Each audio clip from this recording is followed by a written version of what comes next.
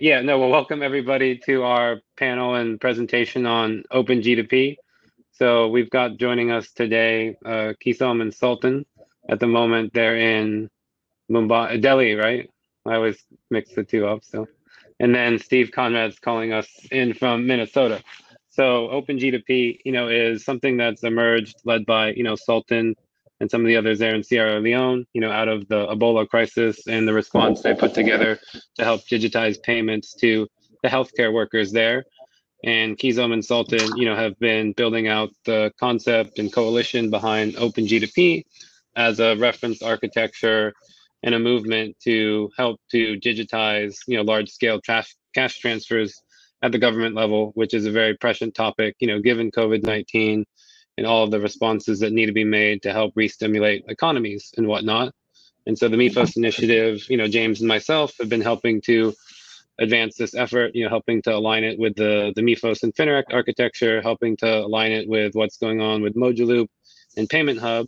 And then Steve is a member of DIAL. He's helping to advance industry-wide option of digital public goods. So DIAL is supporting the Digital Public Goods Alliance that's forming that he'll speak to and OpenG2P aligns perfectly, you know, as this digital public good, which helps to tie together a number of these foundational building blocks like accounts, like payments, like digital ID. So this session, you know, is aiming to educate uh, the community on what's being brought forward here and allow you to, you know, identify opportunities that you can become involved as I think it's a space that you know, is very needed, and others in the Fineract community aren't active about this ongoing effort in this regard. So yep. I'll let you all take it away, and then James, you know, feel free to add in wherever you are, like on what you'd like to contribute to the discussion too. yeah. Um, so sorry, I thought we were going to just do a formal introduction of the of the folks on the call. Um, definitely, we want to introduce this concept and we want to talk about how it is related to the Apache Fineract project. Um, we're also going to cover some of the tool sets that have been developed and some of the tool sets that have yet to be developed. This is going to really pick up on um, some themes that we've talked about earlier, which is orienting the project towards use cases and making it useful to the world, and two, connecting it to other projects. So Apache Fineract by itself uh, does certain things, but when you connect it to other things like Mojaloop for payments, like an identity system, like a, a government payment system, uh, government uh, transfer um, effort, you you get to larger um, larger use cases and larger benefits. So I think with that, um, maybe what I could do is I could call on um, on uh, Keyzom to sort of give us a summary of how this um, uh, started uh, and Salton, or actually, let's go with Salton first. Salton, how did this start? Um, and what's that story about? So um, I, I, I, would I, I would suggest we go with the with with with with with, with, with, with on on that because she okay. does a, a better job of of, of articulating. Okay, that, that's the. Yeah. Well, well, the fun fact is, uh, James, that Salton and I met uh, during our experience in Ebola, and many years later, uh, we are married with uh, with children. So this is a fun fact for the audience. Uh, you know, as we talk about use cases. Uh, but but I'd like to, James, just say that um, you know, it'd be great to start with this overall um, intention of, you know, what is a digital public good and the alliances that are formed okay. to really make it useful. We have a slide deck for the audience uh, that Steve is going to kick us off with, if that's okay. Great. Yeah, yeah. great. Kick us off. see if we've got. Thanks, Steve. Here. Can you see the uh, slide deck window? I'll present here. Is that uh, it's showing? Yeah, you have got All right. it. All right. Yeah. So uh, I can do just a little bit of framing uh, and then dive into kind of the specifics of, of OpenG2P and how it connects to kind of um, this uh, digital public goods and building blocks concept. So yeah, my name is Steve Conrad. I am from Digital Impact Alliance. I lead our engineering team at Dial, and uh, I'm also a contributor to the Fineract platform. Um, particularly did some work on very early integrations with the Mojaloop uh, platform. Uh, today we want to talk about OpenG2P, this tool for building, um, for mobilizing large-scale cash transfers. But I think it's important to have a little bit of background on a couple of concepts, building blocks and digital public goods, and then we can lead into OpenG2P. So digital public goods, I mean, I think we're all familiar with open source software and products. Um, digital public goods have a little bit of a, a narrower scope. Um, they're software standards and data sets that have been developed and funded by international donors to support the sustainable development goals. That's the working definition that we use at Dial and that other um, organizations that we work with uh, use as well. So these are tools that are specifically oriented around humanitarian efforts and, and the sustainable development goals. Just a little bit of background on Dial. Um, Dial was started back in 2016, and I think one of the first things we realized is that um, the digital public goods, or DPGs as we refer to them, uh, the ecosystem is really fragmented. We see a lot of very sector specific um, products and implementations. We see places where there's a problem and somebody writes a very specific solution to address that problem. We don't see a lot of solutions that are uh, cross-sectoral or cross uh, or work across contexts. And so Dial created the Open Source Center to support digital public goods, uh, including Fineract and many other tools. And the idea is to address challenges around sustainability and community, but also around interoperability and creating more generic cross-sectoral solutions. So uh, the DPGs that that Dial has partnered with include a lot of health tools like Bahmni, uh, Open LMIS, Rapid Pro is a messaging system, uh, Mifos and the Fineract um, platform. So we've worked with a variety of different tools uh, that exist already in the in the uh, digital public goods ecosystem. At the same time, digital, uh, Dial developed what we call our uh, SDG framework, and this framework really frames the idea of creating solutions for the humanitarian sector in terms of building blocks. Building blocks are generic software components that can be reused and can be stacked together, plugged together into cohesive solutions we uh, broke out some use cases and we saw that you know a, a, use case might require an identification building block a messaging building block a scheduling building block uh, an integration building block that that provides uh, the flow of data between systems. And so we really started to recognize that if we can architect um, solutions using this building block approach we don't have to rewrite code from scratch. We don't have to rewrite everything from the beginning every time. We can stitch these building blocks together into cohesive solutions. And so, and then we can develop solutions quickly that address multiple use cases across multiple sectors. Um, we've developed an online tool that is starting to create these mappings. So if you are looking for a specific kind of building block, a messaging building block, or a payments building block, or an identity building block, we're starting to map information about what products are already available in the marketplace, like Fineract or Mojaloop for payment solutions. And um, so we're trying to provide and curate a set of data for actors in this space around this building blocks architecture. Um, so uh, a few months ago, we were connected with the Open G2P team, and we're really intrigued by the work that they're doing um, we see a, a, so much potential in this platform because it aligns so well to this building blocks approach, as you'll see. Um, so with a bit of that background and framing, I will turn it over to Keyzom to uh, provide some more information about OpenG, OpenG2P and where they're going.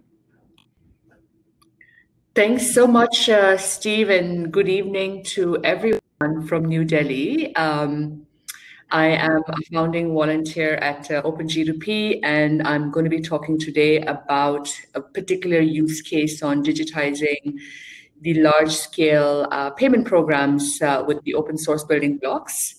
Um, if we move to the next slide, um, well, you know, we're in the middle of a pandemic. Um, and while there are estimates that, you know, uh, global deaths due to COVID-19 is over a million, um, and, and, you know, sadly that number will grow, it is uh, dwarfed by this enormous uh, analysis by another UN body that says, you know, 130 million more people will be pushed to the brink of starvation due to uh, because of the economic turbulence of COVID-19. And on this slide, you will see that almost every government, whether it's the United States or countries like Sierra Leone, Nigeria, etc., the global approach has been um, grants and loans to governments aimed at strengthening the national cash transfer programs in emerging markets um, because uh, you know it's basically the the best way to get money in the hands of people and in covid-19 we're seeing billions and billions of dollars being sent to people who need it if we move to the next slide um, this is basically you know what we realize is that you know mobilizing the cash transfers is not going to address the systemic challenges related to identifying and uh, assessing the vulnerabilities of people and the ecosystem in a transparent, inclusive, and accessible manner, uh, which actually is possible, right? Because we have these great open source tools and technologies out there. Um, but those who those who you know need the cash transfer often don't have formal identity. And secondly uh, you know we also know from our own experience in sierra leone that if uh, you know, oftentimes when the cash transfers is done incorrectly, they can have quite a dystopian effect on the, uh, you know, community in terms of civil discontent, but also in terms of just not being able to save a person from, you know, getting access to daily food or, you know, daily essentials that they need to survive this pandemic. Um, if we move to the next slide, um, we basically, you know, this is this is quite reminiscent. Uh, I mean, it's it reminds us of uh, our experience in Sierra Leone. Uh, during that time, I was uh, leading the UN program to pay the Ebola response workers, and basically, um, you know, uh, when the Ebola virus uh, struck in West Africa, there were um, an alarming rate of infection and death, uh, especially among health workers that were putting themselves at risk. And therefore, to incentivize them, there was, uh, you know, especially for them to play this these very critical roles of you know swabbing of like collecting dead bodies or or working in treatment centers there were incentives in the form of cash transfers. But that program started having negative consequences very early on especially as the number of health workers grew from you know a mere 200 in the beginning uh, to you know a few months later to uh, you know 40,000 um, and the the negative consequences basically were the issues of non-payment or fraudulent deduction of the payment by their supervisors or even after they have received the payments by their last mile agent networks um, uh, um, or just you know purely late payments uh, that resulted in nationwide strikes and and basically abandonment abandonment of of these you know critical roles that they were playing because you know while they they took to the streets, there was just no help or, or no response to the significant risk that they were putting themselves in. And this really brought the country's response apparatus to a grinding halt. Um, and it also start, we also started seeing dangerous spike of infections nationwide. But what was a turning point for Sierra Leone was the digitization of the entire cash um, uh, delivery chain. Uh, and it's a process that starts with, you know, uh, identifying who the beneficiaries are, the recipients, uh, their registration, the uh, assessment of their eligibility, enrolling them to the benefits, then finally paying them, and then continuing to keep that list up to date because in a crisis, the you know number of people who move around. Um, uh, or get added to a list is quite dynamic.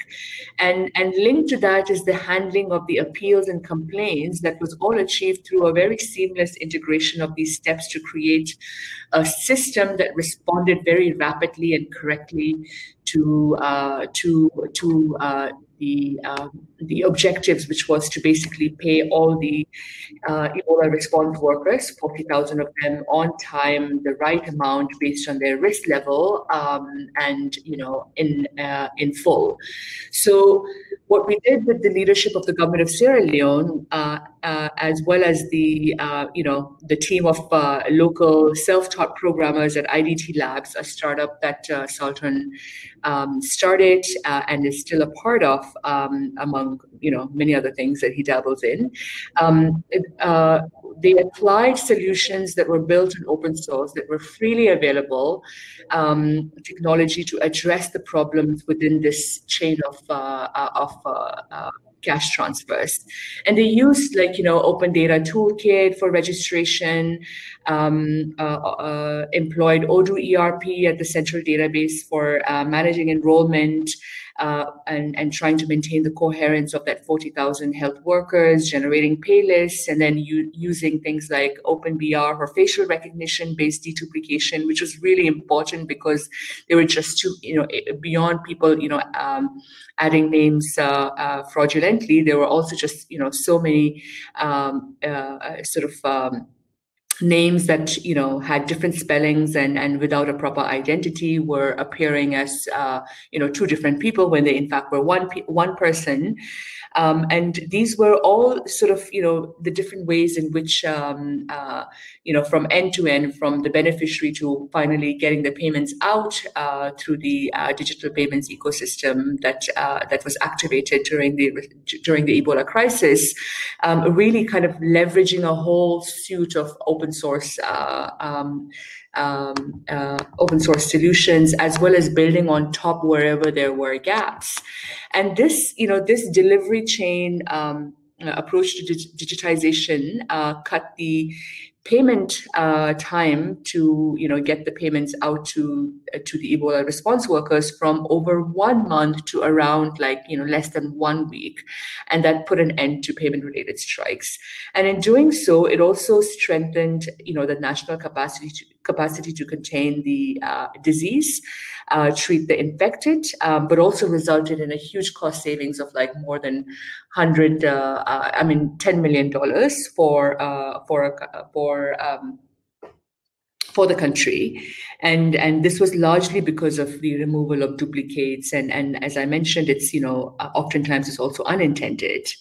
Um, if we go to the next slide um, uh, so you know that reflection uh, of what we achieved and what we solved for in Sierra Leone was, you know, was, was struck a really strong chord for us, uh, for for me uh, definitely, for Salton I'm sure, and and for all the partners that are part of uh, this Open G2P initiative, because there were, you know, the same challenges that we're seeing today in terms of exclusion, in terms of, you know, um, uh, enrolling uh, people uh, rapidly to receive the cash transfers uh, in terms of you know grievance redressal mechanisms that's responsive and that uh, cuts across um, different points of the sort of payment value chain.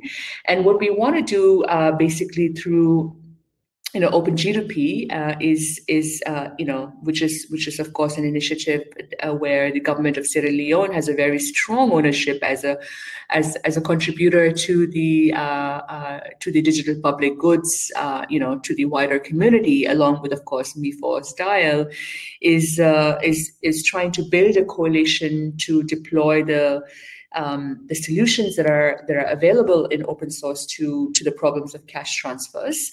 And and you know as volunteers our hope is really open sourcing these. Um, it provides other governments and other humanitarian organizations that are sending the billions and billions of dollars uh, with a bootstrap of of, uh, of their social protection digitization journey, and and really kind of you know creates that uh, that framework, um, that reference point to to sort of you know um, uh, learn from that experience, but also be able to leverage quickly the technology uh, and the solutions that are out there for the problems that, that we see recurring in today's pandemic.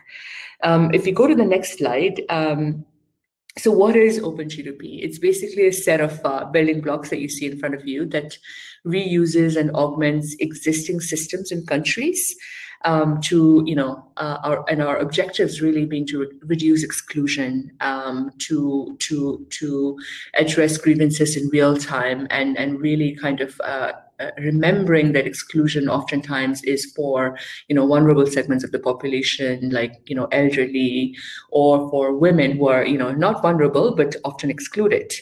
Um, and and this is you know um, this is really uh, kind of uh, it, the the building blocks approach is really to um, to so that you know governments or programs can adopt only solutions that address gaps within their within their uh, program um, and uh, you know also maximizes choice uh, and interoperability with their existing legacy systems. Um, so with this, I'm going to hand it over to Salton, um, and we'll go to the next slide. Uh, so, thank you. Um, as, as, as outlined there, um, our in, in, intention is to is, is, is, is, to, is to provide a, a bootstrap for not just governments, but um, and GOs um, within the, the social poor, protection, um, uh, uh, within social poor protection. And uh, and uh, and and and uh, so what we have to done, um, as she she outlined, was um, was was basically adopt um, a, a, building block um, approach in, in, in, in which we divided, um, you know, the, the, the, the, the entire delivery chain into um, bounded contexts, uh, right? And uh, build so, so, so solutions or, or building blocks that um, um, address just one and, and, and only one, the, the pinpoint within that chain. And, and, and, uh, and through that exercise and, and based off um, the lessons uh, learned from the, the, the Ebola implementation, um, you know, we, we came up about with um, three main so, so vision sets. So um, cash transfer programs need to um, digitize how they um, they, they identify and uh, and and and register um, the people in, in, into the the, the, the, the, the, programs. So within this this space, we, we realized that there were a set of, of tools all already in, in play so for example, most um, programs out there at this time use ODK to collect um, um, this uh, records. But um, a, a, huge gap um, ex exists in, in, in how these records are duplicated and, and, and in how these records are verified and, and so um, you know, um, and and and and this gap is is is is, is, is um, existed even more so in in the, the developing world where um, the access to foundational identity is missing. So um, you know, so what we did there was was build, um, you know, a set of specialized tools meant to um, um, to, to, to, to address these different uh, pain points, um, and and, uh, and and and we built them on solutions out there. So um, an, an example would be the deduplication service, which is meant to um, help organizations keep duplicates out of out of their, their payment lists. Um, in, in, in, in, in most deployments, um, you know, a lack of, of identity city, in Amsterdam. You, know, it is it's challenging to to to do this. But um, what we were able to do is to um, lean on on on on on on on, on, concepts, on concepts like and city resolution and the biometric verification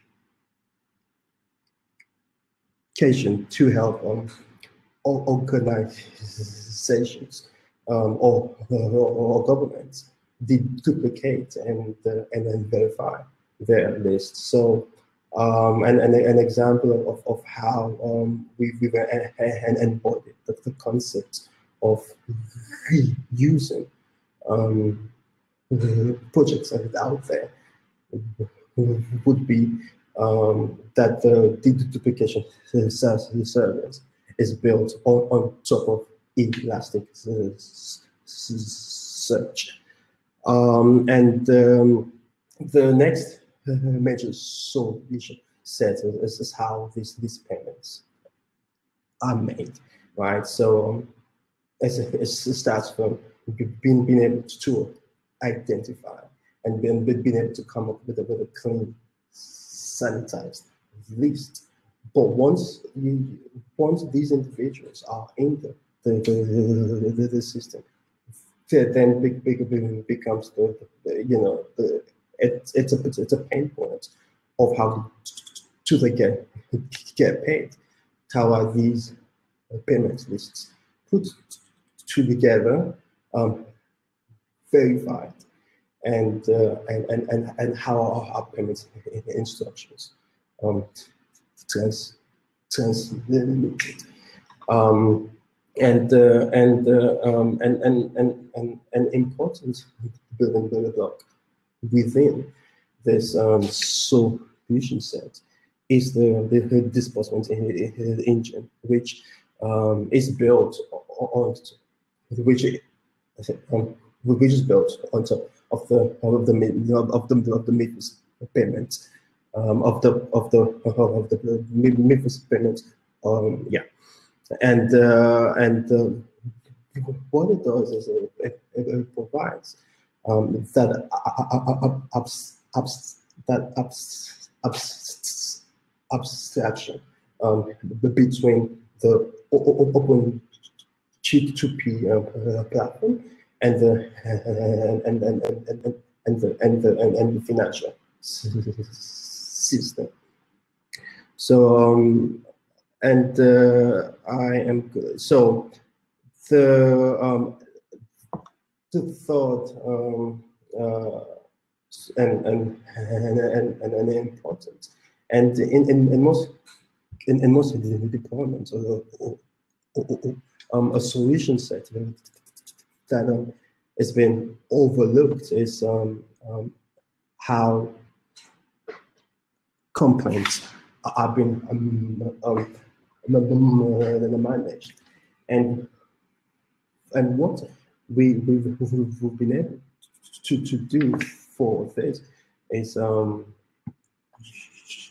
utilize um, uh, complaints um, management systems um, and the proposals for the, the, the for um, open G 2P.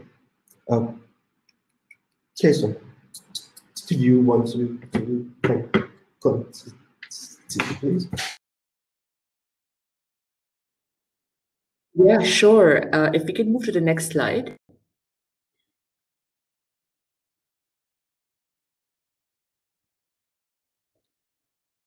To the to the next one. This one or one more? One more. So basically, I mean, this is just showing you the framework, and Salton's already put, uh, you know, um, shared uh, in the chat the uh, sort of the the link to the GitHub as well as the uh, you know where we explain in detail these uh, building blocks. James, you know, you are an architect of this this that, that we see in front of us. Do you want to talk about this? Sure, um, and I do want to make sure we leave it just a you know at least a few minutes for um, questions, and I, I, think we can start the next session maybe a little bit later, possibly, because um, I don't think there's anything after that one. Um, so, you know, there are different swim lanes here, um, and it's important when you think about a G2P process that you don't over uh, focus or over index on just the payments disbursement. The the part that's uh, that Salton's just been talking about is the the registration, uh, deduplication, verification, um, eligibility engine, and all of these things. And then on the other side are the, um, the sort of management of, you know, who gets it.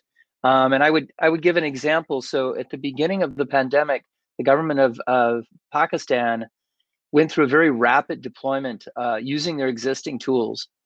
And what and and uh, and we got to hear from somebody involved in that uh, through this process.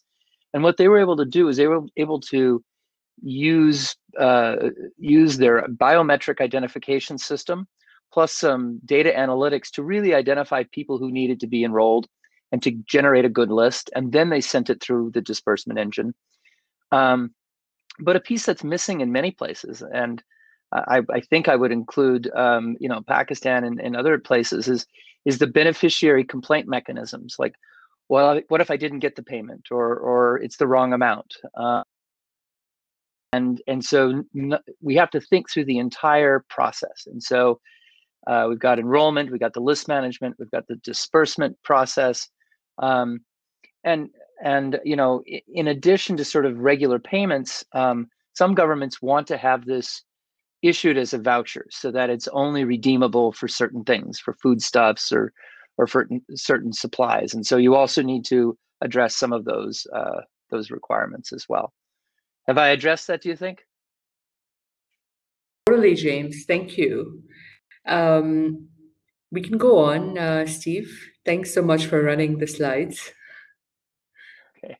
Um, so I mean, this is this is this point, you know, is just really to emphasize that um, you know it augments existing systems. So it's not coming in and saying here, just you know, throw away whatever you've been working on for the last you know 40, 50 years or last 10 years.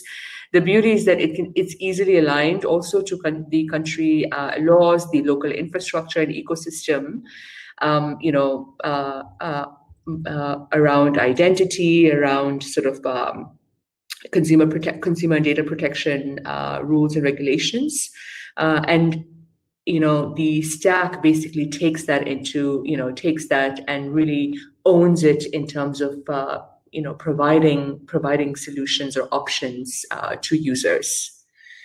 Um, if we move on um, to the next slide. Uh, I mean, these are our guiding ideals. It's not rocket science, but we're really motivated by an intention, a, a deliberate intention uh, to to really serve the end users, which are often vulnerable people, often marginalized people, and and really you know confer uh, privacy and security as inalienable rights uh, for them. And that's really taken into consideration uh, in the whole sort of uh, architect design and and the way in which the building blocks are laid out. Um, and you can read certainly in greater detail about them on the website as well where we actually have a working draft that we've put out for the community's feedback. Um, uh, Next slide. I mean, you know, this is basically a shout out to all the partners and and one, you know, to recognize the tremendous leadership of the government of Sierra Leone. It's a small country, but it's you know, uh, it's it's it's a it's been a very strong contributor and and you know the the uh, wanting to give back uh, what they've learned to the world and then and then of course you know Mifos and Dial, uh, James, Ed, Steve, the folks really kind of uh, working through thinking about um, the tech stack, but also in terms of how do you make it available, accessible for everyone. And then I think we have just the last slide, which is basically a shout out to Salton, our speaker on this panel, who is the key architect, along with uh, uh, David, uh, who is also uh, the education minister and the chief innovation officer in the government of Sierra Leone. Um, so thanks so much, uh, Salton, for championing this really important work and, and for this these valuable contributions. over over to to Q and A, I guess, James. Yeah. So if there are any questions here, um, let's take them. We are sort of pressed for time, but would like to sort of, um, you know, entertain if there's one or two. Um, if not, the next session is on real-time payments, um, and then the following one will be the Fineract CN improvement. We did start a little late here, so um, I do want to really thank Steve from Dial for coming uh, and and describing the global, the digital global goods um, concept. I want to uh, really thank uh, uh, Keyzom and, and Salton for staying up late um, in New Delhi and presenting this idea, which has enormous importance and saliency right now. The World Bank is working on, you know, this. The governments around the world are working on this, and the open source community, I think, has something to say about how we do um, G2P payments, uh, transfer payments using low cost commodity software, you know, providing the best value and and and building out an ecosystem around this. So I hope people will join, take a look at the documents, take a look at the GitHub. Salton is an amazing um, inspiration to us. So thank you. Thank you all. And uh, we'll move on to, oh, is there an overarching G2P API being defined? Yes. um, that is a, a good question. And uh, I think it goes to how the components are being related to each other. So I don't think there's a single API. There are APIs that talk to different components. And then I think if you look at the overall domain of the APIs, um, I think we should probably have a discussion about that. I mean, Salton, um, maybe we, we make that uh, something that we put on the list um, uh, something to to try to describe. But it's it's that would be great, Sankar. We would love to have your participation. So so reach out um, and uh, and we'll follow up. All right. I think with that, guys, we should we should move over to the next session. And I just want to say thank you um, uh, again for the team.